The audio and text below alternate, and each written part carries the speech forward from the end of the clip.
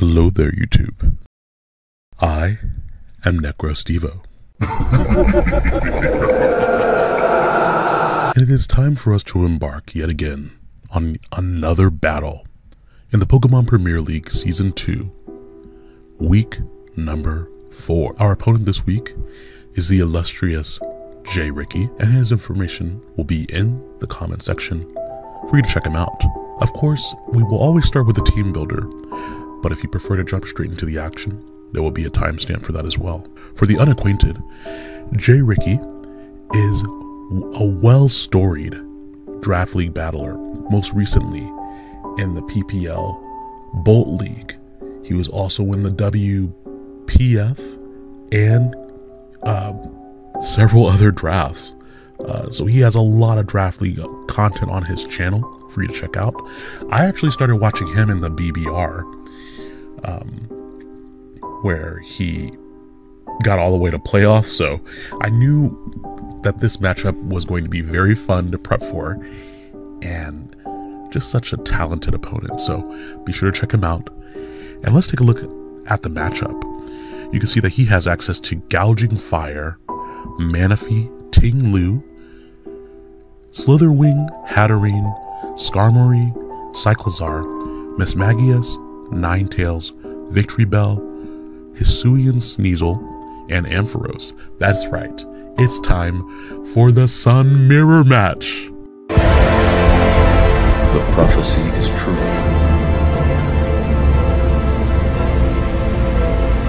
Now, how in these dark realms do we play this matchup? I had basically three options here. Number one, I could forego my weather in hopes of not powering up his sun abusers. I could also try to bring Hail and do my best to get rid of his sun and sweep with the Titan. Or I could just bring the straight up sun matchup as well. You can see on here that I had him on speed tiers outside of the Cyclizar um, with Maushold and Dodrio and Zebstrika and even Terrakion outspeeding the majority of his team. That being said, he had a great trick room option with the Hatterene, with things like the Ting Lu and the Ampharos to, uh, to back it up. With this matchup, I ended up going Drumroll, please. With Dodrio holding the Power Herb. With just 216 speed, that means that I can outspeed max speed gouging fire, and I went with Sky Attack so that it would activate immediately with the Power Herb, Acrobatics so that after um, I lost my item, I'd have a continually boosted move because Acrobatics doubles in damage if you don't have an item. Low Kick and Swords Dance. Now here I was going to be a little bit tough to nab a Swords Dance boost, but I figured I could do it against Skarmory, um, against Ting Lu, either of them trying to set up entry hazards. I could also possibly do it against something um, like Ninetales, depending on if he was like a supporter set or something like that. Tera Flying, though, with Acrobatics or Tera Flying Sky Attack, was a really good one time use nuke against a lot of things here, and I really like the speed tiers against his team. Up next, I went with Terrakion with the Choice Scarf, just to number one, be a secondary check to something like Gouging Fire, getting a, a speed boost, whether it be through Scale Shot or through um, Dragon Dance. It also allowed me to be a secondary check to something like um, Manaphy trying to set up and um, or even a Scarf Manaphy. I wasn't sure what he would bring. I was really expecting to see Gouging Fire, Manaphy, Ting Lu, Hatterene, um, Skarmory, and maybe the Slitherwing or the Hisuian Sneasler. So I just wanted to make sure that I had something in the back for if the Gouging Fire got out of hand.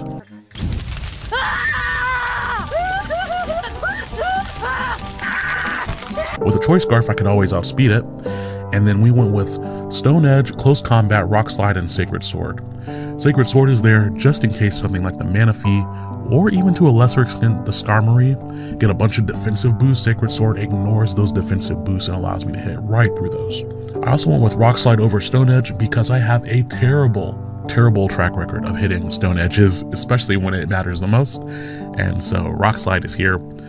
Uh, the secondary flinch chance is also nice, but primarily I just want to hit the darn move. Hello? Is this the Darn store? After that, I did decide to bring my Walking Wake, so we get the Walking Wake versus Gouging Fire matchup. Walking Wake is naturally faster, but I would have to watch out for Manaphy because Manaphy, especially with something like an Assault Vest or running the Take Heart, which boosts his special attack and his special defense, could basically wall out my Walking Wake. I went with weakness policy expecting Manaphy to be what my Walking Wake would be facing at some point. And one of the new moves that Manaphy picked up is Alluring Voice. And um, I was just prepared for Walking Wake to get hit by a super effective attack. And with Draco Meteor, um, Flip Turn, Hydro Steam, and Scald, that would mean that I could hopefully use a Draco Meteor, and then the Manaphy will hit me with a super effective move, and I would get plus two special attack, which would basically reset me, and I could use it again. Alternatively, if I got hit by um, like a draining kiss or um, other coverage move across his team there, since I'm so fast and the protosynthesis boost here is further boosting my special attack if the sun is up, um, I only needed enough speed, 224 speed to outspeed a max speed Mismagius. Um, it was very likely for the Manaphy to come, and so that's why I like flip turn here just to get out of there and go into something else. That something else in this situation would be my Venusaur. And Venusaur I went with Power Whip, Poison Jab, Weather Ball, and Sleep Powder.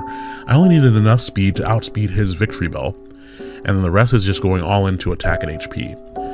Here I really enjoyed the physical Venusaur because something like Ting Lu, with its uh, Vessel of Ruin ability there, would um, really annoy any of my special attackers. So if I go physical, that gives me a much stronger hit on Ting Lu, a stronger hit on Manaphy, uh, which would be very likely invested to deal with the Walking Wake. And same thing for the likes of Hatterene. On the downside, that does force out um, any of those physical stab options on my Venusaur with the Skarmory. But with Weather Ball and zero investment in the Life Orb, I still one shot the Skarmory in Sun.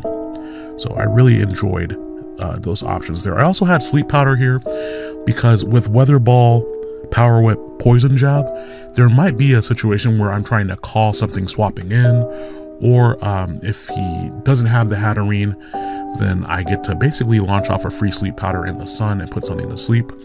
And then I could go for the appropriate coverage move after that. After that, we do have Galarian Slowking with the Shuca Berry, I was expecting Shuca Berry because, or rather, I was running Shuca Berry because Gouging Fire can use Earthquake, Ting Lu can use Earthquake, and I was expecting to take that ground move from either one of them and then just get some additional damage or my Toxic Spikes up.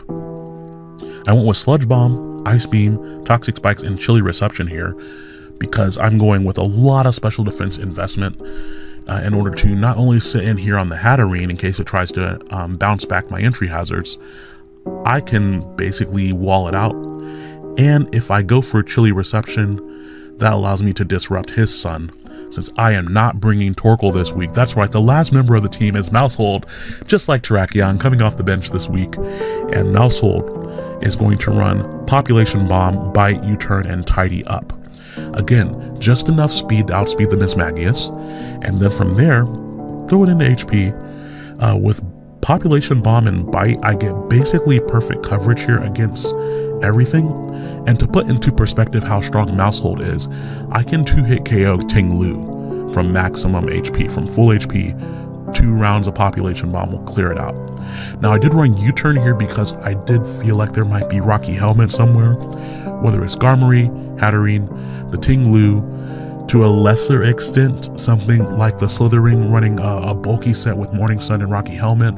I did not want to population bomb into the Rocky Helmet because I would kill myself. So U-turn allowed me to scout that. And tidy up, after I tidy up, I can um, also catch anything on his team that's trying to go for a speed mode there. So that is our horrific horde for this week. Really excited to see two of my Pokemon coming off the bench. And uh, if you're just joining me for the team builder, this week we are bringing Maushold off the bench with the standard population bomb set, bite, U turn, and tidy up, with the wide lens to make sure that we hit those population bombs. Um, Galarian Slowking is running a Shuca Berry with max HP and almost max special defense, which is Sludge Bomb, Ice Beam, Toxic Spikes, and Chilly Reception. Terrakion is running the Choice Scarf with Stone Edge, Close Combat, Rock, uh, Rock Slide, and Sacred Sword. And Walking Wake is running Weakness Policy with just enough speed to outspeed the Mismagius alongside Draco Meteor, Hydro Steam, Scald, and Flip Turn. Our Tera captain for today's battle is going to be Dodrio with Tera Flying, Power Herb, Sky Attack, Acrobatics, Low Kick, and Swords Dance. And then we have a physically offensive Venusaur running Life Orb with Power Whip, Poison Jab, Weather Ball so that I can hit that Skarmory, and Sleep Powder because I do anticipate being able to put something to sleep and swap out or just kind of go for the more appropriate coverage move instead of always trying to predict every single time. Once again, reminders to go check out Jay Ricky and the Gigaton Hammers, and we'll jump right into the battle now. I'll give you all a little peek behind the curtain here. You can see I was doing my pre-battle prep and just um, going through and checking my sets. And since I do everything on cart, I don't use any engineering surfaces. You can see how I uh, go in and I was like, oh man, let me use some PP ups on some of these moves here. And um, it's it's just part of my my I always get my team and then I come in and I double, triple, quadruple check my sets and I always find things that I miss. And I won't always PP up every single move for every single Pokemon. I really pick, okay, is this a move I'm going to be hitting a lot? Um, like, of course, you always would max out the power points on Slack Off or on the main move you think you're going to be clicking a lot. But uh, for example, I know I'm only going to click Sky Attack once, so there's no reason to, to max that one out. But I just wanted to let you all see that because I paused it to message Jay Ricky, and then I forgot to hit record at the very start of the battle. At the very start of the battle, I ended up leading with my um, Maushold, and I did that because I wanted to U-turn immediately. But he leads Slitherwing, and I was very afraid of getting hit by a first impression because that would do a ton of damage to me for no reason. And so I ended up hard swapping out to my Galarian Slowking, knowing that if he did go for Earthquake, that would be the the worst case scenario if he went for that on the swap, but I expected him to go for first impression. Um, but on the swap, he actually ends up going for U-turn. So, um, not the best start to the battle. I could have stayed in and got it for my own U-turn, but my thought process was, okay, I don't know if he's banded. I don't know if he's life orb. I don't know if he's going to set up. I don't want to stay in a population bomb here, and so that's why I ended up swapping out there. Now, I did take a lot of damage from that U-turn for it being a, a, neutrally effective move, but I didn't take as much as I expected. So I, I was like, okay, is, is he, I don't think he's banded. And so since he just went straight for U-turn and he did not go for the first impression, I thought he was a setup set. Um, here he brings in Gouging Fire, and I can take any hit from this range unless he's Choice Banded. And if he's Choice Banded, I can't take anything. Um, but I was confident in the matchup that he was not going to be bringing Choice Band here to, to this matchup just because of how important Gouging Fire was to his team as far as just overall damage. So my thinking was, okay, uh, here I just need to get off some damage on him because if I can just get him in range of something, I'll be good to go. But then he completely ev- eviscerates my Galarian Slowking with a Flare Blitz, not even Earthquake. Um, and so that is obviously, very, very obviously choice banded there. And that sucks because now I have to play this game without a swap in to so many of his Pokemon. And Galarian Slowking didn't even get to do anything. Um, on the plus side, since I know he's choice banded from the damage, I can easily bring in my Walking Wake here. And this allows me to either go for the Draco Meteor or the Hydro Steam. Scald is stronger than Hydro Steam if the sun is not up. Um, or I could just flip turn out expecting the Manaphy. Um, he kind of surprised me here because I was like, okay, I'm just going to go for raw damage here. And um, he does go right out to the Manaphy. And I was like, okay, this is going to do a good amount of damage. Let's go. And then it does nothing. That did negligible damage. I don't mind showing him here that I am not locked in because I know that he knows based off that damage that I'm not choice specs. Um, if the sun is up, I will get a protosynthesis boost to my special attack, which will help out against the Manaphy. But with that very low amount of damage going in on the Manaphy, we're just going to swap out here with Flip Turn. Uh, if he stays in with Manaphy, then that means I get to go out to Venusaur. But if he decides to swap, which he shouldn't, then um, I'm going to assume he's going to knock off or maybe go for a fairy type move. And I did not want to use my weakness policy this early, so that's the other reason I went ahead and swapped out.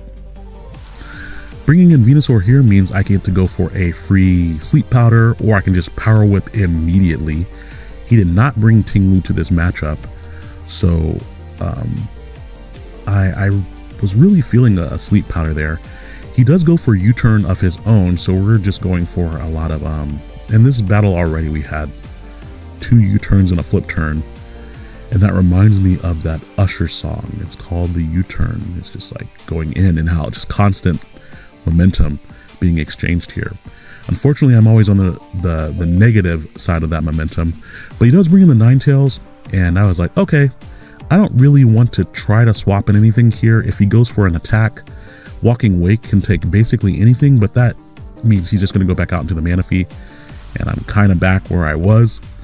And uh, to kind of force some progress here, I decided to stay in and go for uh, the sleep powder, thinking that at worst he could stay in and go for maybe a flamethrower or um, a fire blast. Fire blast or overheat could KO me. Flamethrower uh, would not KO me from this range. So I go for sleep powder and I miss. And he goes for overheat, connects, and now I've lost two Pokemon without doing anything. Um, he does also show the eject pack here, which means if his stats are lowered, he swaps out to another Pokemon. And that really sucks because uh, number one, that means that I called that properly and I could have put him to sleep and prevented that. Uh, but now he gets in his Slitherwing and he gets a protosynthesis boost, and I'm just like, ah, man, okay. Let's um, let's see here. Since he immediately went for a U-turn earlier, and he didn't go for first impression. That had me thinking he was some sort of setup um, set or uh, maybe um, some sort of bulky set. I knew that he wasn't choice banded from the damage on Galarian Slowking earlier. And so I was like, this is a great chance to bring in my Dodrio and threaten him out. And I can also get off the Sky attack and burn my items so that way my acrobatics will be stronger later. If he stayed in, I would immediately KO him, even if he had the um, the proper berry to resist um, to lower the damage from flying type moves. So going out to Dodrio here is just kind of a little bit more aggressive. And I did I I briefly just kind of just checked my team there to go, okay, if I can take out the Slitherwing here, that really frees up um, my Maushold for later because I was so sure that this was like a bulky Slitherwing, something to kind of take hits or come in on the likes of like my Venusaur, other things like that. Uh, but uh, after the Tera animation, we find out that this is actually a Scarf Slitherwing. And if he's Scarf, that means he outspeeds me and he just one-shots my Dodrio with Flare Blitz. So after all these U-turns and after all these pivoting moves, I've lost three Pokemon, while functionally the only damage that he's taken is the own recoil that he's done to himself. So he still has all six of his Pokemon, and I have three against the world at this point. Since the sun is up and I know he is scarfed and he's locked into that flare blitz, that means that I can go out into my walking wake, get my protosynthesis boost and get a special attack boost. I know that the Manaphy is coming back in here, but I need to do, I, I basically am forced into whittling down the Manaphy. If he stays in here, a Hydro Steam will KO him, I don't know why he would stay in and click Scarf Flare Blitz in the sun. Like, yeah, it's, it's boosted by the protosynthesis in the sun, but it's also quad resisted by Walking Wake. So I didn't expect him to stay in, and I expected Manaphy to come back in. I could have gone for the flip turn, but uh, if Manaphy did end up being Rocky Helmet, and I went, um, which I, I knew actually, at that point, did I remember that it was not Rocky Helmet? No, I just wanted to go for Hydro Steam to maximize my damage um, and then on this next turn, I was going to go for Draco Meteor, hoping that he would go for Alluring Voice. The other thing I could have done is swap out into my Terrakion, but that really wouldn't get me anywhere at this point, and I'm also risking that he's going to go for a water type move on the switch, just trying to whittle down or maybe get a Scald Burn on my um, Walking Wake. So after uh, the Protosynthesis boost, you can see that this is a 2-hit KO with the Draco Meteor, and he does go for Alluring Voice, which activates my weakness policy, and that means we are back at neutral special attack. That is critical here because without that, I would not be able to KO this Manaphy from this range. So we are able to finally take a KO in this matchup with Walking Wake taking out the Manaphy. Um, I I didn't expect this to work out in this way. I just wanted Walking Wake to kind of really heavily damage the Manaphy, but I will take removing it from the game completely. Now the downside is since I had to go for that secondary um, move there and lower my special attack again, that means that whatever he goes out to basically gets a free hit off I was expecting the gouging fire to come in, and um, he also could have gone out into um, his Mismagius and tried to set up on me at this point. He does go back out to the gouging fire, and even after the drop there, I was like, do I risk swapping in Terrakion here? He has to go for the dragon type move, right? He has to. If he goes for a fire type move and I stay in, I get a good amount of damage off. And I also have Terrakion to resist that. Um, but I was also worried about him going for a scale shot um, and getting plus one for free, and then it'd be um, kind of Terrakion trying to force something here. I end up deciding to stay in at this point, and that at least forces him to attack me. Um, I'm faster and I don't get a crit on the Draco Meteor. If I had been a neutral attack, I would have taken him out. And he does go for Scale Shot, so I could have swapped out to Terrakion there because even after a scale shot, I would have been faster. Um, I go out to my Terrakion now, which does kind of scream that I'm either Choice Scarf or that I'm Focus Sash.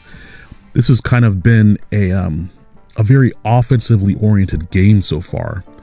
And with only Maushold in the back, I have to take out this Gouging Fire because I was also worried about Gouging Fire's um, other ability because I know that since he's choice banded, okay, would he carry the bulwark, the burning bulwark, just randomly on a choice band set? I don't know, but I do know that that would be very annoying for my Maushold to deal with. So here I just go out to my Terrakion, and I know I'm going to be faster, and so I hit him with the Rock Slide. Don't have to go for Stone Edge. We're just going to go for Rock Slide to ensure um, the best chance of KOing that. The other reason to go for Rock Slide is because since he has Mismagius in the back, I did not want to lock into a Rock type move and then be forced to um, a fighting type move and then be forced to swap back out to Maushold. Rock type moves here enable me to at least kind of go for flinches at this point. Um, I was not um, convinced of my opportunities here. Now, I can't swap out here because Hisuian Sneasel, of course, being a fighting type means it has super effective coverage against both of my remaining Pokemon, and it's faster than both of my Pokemon as well. Now, on the plus side, I think I'm faster with the Choice Scarf. I don't think he'd bring Scarf Sneasel, uh, Sneasel. And so I do a good amount of damage with that, but I don't get the flinch. And he is able to easily take me out with the close combat there. And I bring in Maushold expecting this to be game, but then his own eject pack swaps him out. And that means that we have a window of opportunity. What is that opportunity? That is to go for Tidy Up with Maushold. Depending on whom he brings in here, I get to immediately go for Tidy Up, and that means that I outspeed his entire team with my Maushold. He goes out into his Mismagius, and Mismagius does not have a good way of hitting Maushold to one-shot it. Maushold comes in, and I basically have to click Tidy Up and pray that I can live any hit and that I don't get crit, and that he doesn't have something random like to, to status affect me. So Tidy Up goes off, attack and speed boost, and he goes for Dazzling Gleam, and that does not really do any damage. Here, I'm able to go for Bite, and Bite would easily KO the Mismagius, but he surprises me with Endure, and I was like, no! Thinking that this was the uh, the Destiny Bond Custap Berry set, I go for another Tidy Up. Um, the purpose of that would be if he went for Destiny Bond, this is going to waste his Destiny Bond on this turn. And then on the next turn, I could go for another tidy up there to kind of um, to force it to expend. He Tera fairies this turn, and um, that was a good call on his part because if I went for, um, oh wait, I don't have any way to go. I don't. I, I don't know why I was thinking of walking wake there. Pardon me. I am tired, but uh, he does not KO me with that dazzling gleam. And now since he attacked me, I know uh, I'm faster and I have plus two attack, plus two speed. It's time. The only thing is that uh, I was worried about the scarf um, on his Slither Wing in the back, but now that I have plus two speed, I know I outspeed it for sure. So I didn't really see a way for him to win at this point because I have plus two speed, so I also outspeed his um, his uh, Hisuian Sneasel as well, and he has first impression. Why this trainer brought first impression on a choice scarf Pokemon, I don't know, but it worked out brilliantly here. I did not see first impression coming. What is the most important? Uh, the most important thing for me in this battle is if I had stayed in on turn one and gone for my U-turn against the Slitherwing, also using U-turn, I would have known turn one that it was scarfed. That means that I would not have brought in my Dodrio to die to it. Given that I basically played this entire battle with only three Pokemon versus six, I am incredibly happy with how this turned out. Um, but thank you very much, Jay Ricky, for the battle. And thank you all so much for watching. Please be sure to check out his side of the battle in the comments and the description below. And um, since we finally brought Maushold off the bench, really there's only one more thing to do. Three blind mice, three blind mice. See Three how they blind run. mice. See Three how they run. mice. They all See run after the farmer's wife. She cut off the tails with the carving knife. Have you all seen ran after the sight in your farmer's wife. She cut off the tails with the carving knife. Have Three you ever seen such a sight in your life? Three blind mice. See how they run. See, how they run. they all ran after the farmer's wife. She cut off the tails with the the carving knife. Have you ever seen the such a sight in your life? Three you ever seen blind mice. sight in your life? Three blind mice. See how they run. See how they run. They all ran after the farmer's wife. She cut off the tails with the carving knife. Have you ever seen such a sight in your life? She cut off the tails with the carving knife. Have you ever seen such a sight in your life? Three blind mice.